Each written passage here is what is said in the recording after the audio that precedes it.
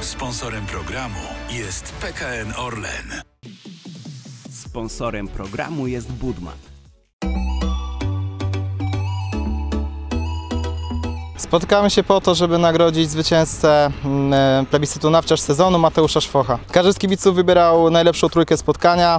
Najlepszy zawodnik dostawał 3 punkty, drugi zawodnik 2 punkty, trzeci adekwatnie 1. Po, mm, po każdej kolejce sumowałem te wyniki i najlepsza trójka trafiała do mm, tabeli generalnej plebiscytu. I też najlepszy zawodnik kolejki dostawał 3 punkty, drugi 2, trzeci 1. E, Szczerze mówiąc niczego nie zakładałem. Pomyślałem, że skoro zamknęli nam stadiony, kibice nie mogą spotykać się w pubach, więc spotkają się na Twitterze. I ku mojemu zaskoczeniu i radości wielu kibiców e, odpowiedziało na moje zawołanie, głosowało, wybraliśmy wspólnie Mateusza. To, co się działo w klasyfikacji było bardzo ciekawe. Mateusz od samego początku był wysoko. Generalnie razem z Krzysztofem Kamińskim rywalizowali o zwycięstwo do samego końca. Zażarta też była rywalizacja o podium. Tam się dużo zmieniało. Był raz Damian Rasak, był e, Dawid Kocyła, no ale też rzutem na taśmie wszystkich wyprzedził Kuba Rzeźniczak. Jestem zadowolony. W ogóle nie spodziewałem się, że będzie duży odbiór, nie spodziewałem się, że klub to zauważy, że ktokolwiek to zauważy, że media to zauważą e, lokalne, więc no ja jestem przeszczęśliwy. Nie mam wyboru, będę kontynuował plebiscyt nawciarz sezonu w nowym sezonie.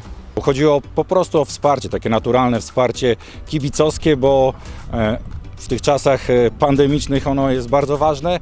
Też wychodziłem z założenia, że Arturowi będzie potrzebna taka e, pomoc, dlatego że o piłce nożnej pisze się w dużej ilości mediów.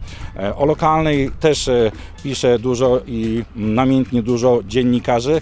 E, Czas pandemii był takim czasem, że tylko my jako dziennikarze mogliśmy wchodzić na stadiony, widzieć to, co się dzieje e, faktycznie i ta ocena e, nasza dziennikarska była pełniejsza, jeśli chodzi o obejrzenie meczu na żywo, bo wiadomo, że w telewizji wszystkiego się nie da zobaczyć. E, No i od samego początku bardzo mi się spodobał pomysł Artura i tak naturalnie jak kibic i jako dziennikarz chciałem wesprzeć tę inicjatywę.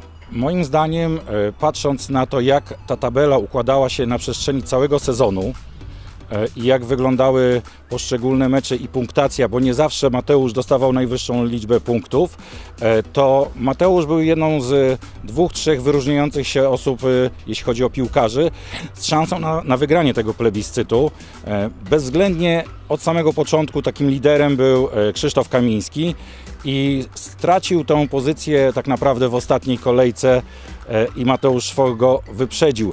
Sumienna praca przez cały sezon e, zaowocowała tym, że został nawciarzem sezonu wybranym przez kibiców, którzy niejednokrotnie i krytycznie, i mniej i bardziej wypowiadali się na temat piłkarzy, jak e, ustawiali, wystawiali im oceny, więc e, moim zdaniem ta nagroda, taka indywidualna nagroda, ale to jest gra zespołowa, należała mu się jak najbardziej.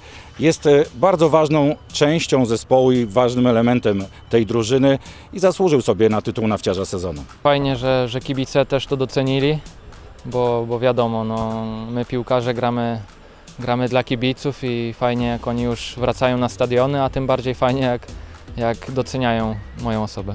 Nie śledziłem te, tego konkursu, bo, bo nie miałem informacji, że w ogóle taki istnieje, więc y, nie mam Twittera, dlatego było to dla mnie zaskoczenie i teraz właśnie tutaj panowie mi powiedzieli, że, że do ostatniej kolejki trwała ta rywalizacja, no i, i fajnie, bo, bo emocje były do końca. No pewnie, żebym chciał, wiadomo, to jest, to jest fajne, fajne indywidualne wyróżnienie. Wiadomo, że, że jeżeli zostałbym uznany znowu nawciarzem sezonu, to, to by oznaczało, że, że znowu sezon miałem, miałem niezły. Ale wiadomo, też, też liczy się dobro drużyny i chciałbym, żeby, żeby to ta drużyna w przyszłym sezonie wyglądała bardzo dobrze i żebyśmy zajęli na pewno, na pewno wyższe miejsce niż w tym, w tym obecnym.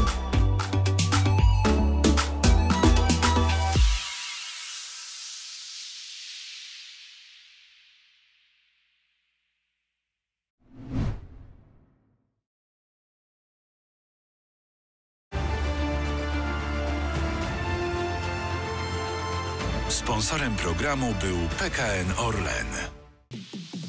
Sponsorem programu jest Budman.